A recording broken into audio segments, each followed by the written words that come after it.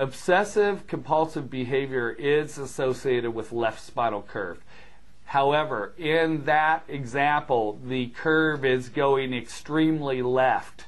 And in many cases, they're going to show both peer dysfunction and parent dysfunction. The peer dysfunction can be relative to themselves or another peer. The parent dysfunction can be relative to their parent or their parent's parent. So in, in this example, that's really what that relates to.